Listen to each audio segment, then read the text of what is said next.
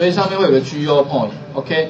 那这个 GO point 呢，我给它一个 TCMT 的一个 GO point 一个点，对不对？New 一个 GO point，那我必须要给它两个值，一个值是什么呢？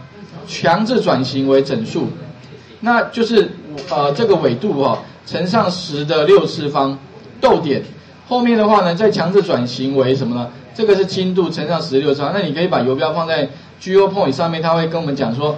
我需要两个整数 int 有没有？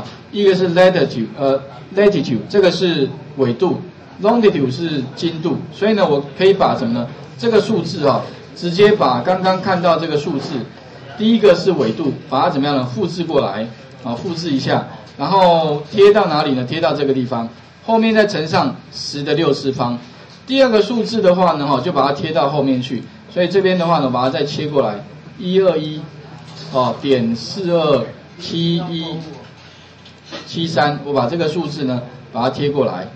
好，贴过来之后的话呢，接下来哈，再利用那个 map controller，这个 map controller 点什么呢？后面呢，animate to，就是呢，把这个我要的那个位置移动到哪里呢？移动到 TCMT 的位置，实际上就是上面的 GO point。那 GO point 有点是暂时存放两个。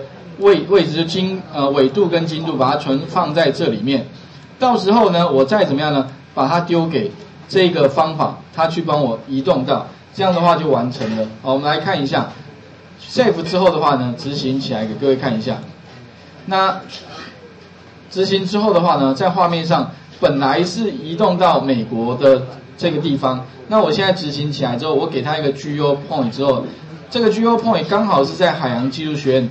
而且放大的倍率刚好是十七，所以呢，各位可以看到没有海洋技术学院就出现了哦。我想这这部分呢，我把它放大给各位看一下。如果你可以看到这个地方，表示你已经可以移动到这个地方了。OK，好，这里我想哈，各位试试看。那城市码部分呢，也在画面，也在那个云端上面哈，各位可以参考一下。啊，在这个地方里面的话有一个这个啊，直接点一下。Google Map One 的城市设计，啊，画面先还给各位一下哦。